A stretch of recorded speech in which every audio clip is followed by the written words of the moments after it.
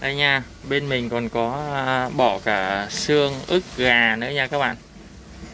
Chào các bạn quay trở lại với kênh à, gà ta miền Nam. Thì hôm nay mình cũng chia sẻ thêm.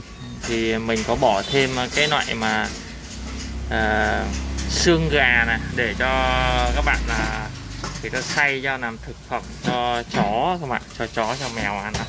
đây đó xương này thì mình bỏ có mấy ngàn một ký rồi các bạn ạ.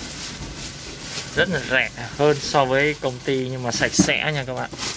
Làm đầy đủ rồi rửa sạch sẽ rồi. Để vào trong uh, tủ uh, lạnh nha.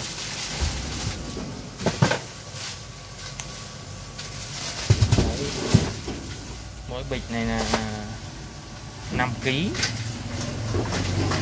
Ây da, đâu quá Rồi, dao xong là chở bỏ vào trong à, kho lạnh nha các bạn.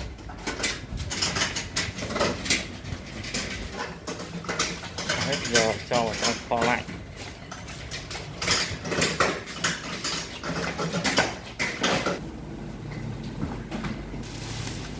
Đây, cho vào trong kho lạnh nó bốc hơi, lạnh ngắt luôn các bạn.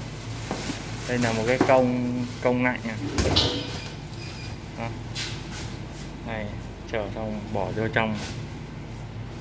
Đồng đồng cứng ngắc luôn.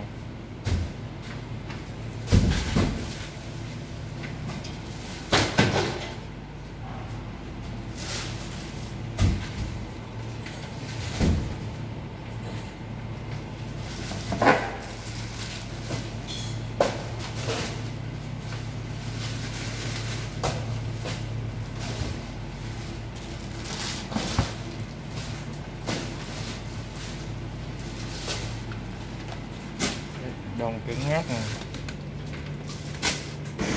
đó, như vậy là mình có nhận thêm bỏ cái phần xương gà nha các bạn. Cảm ơn các bạn đã quan tâm theo dõi video của mình. Xin chào và hẹn gặp lại ở video lần sau ạ.